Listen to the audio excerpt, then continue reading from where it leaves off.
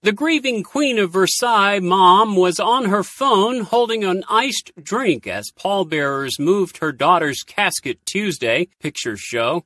Jackie Siegel, a star of a 2012 documentary about her family's Florida mega mansion, was dressed in a tight black dress in mourning for her 18 year old daughter, Victoria, who died Saturday of a suspected drug overdose.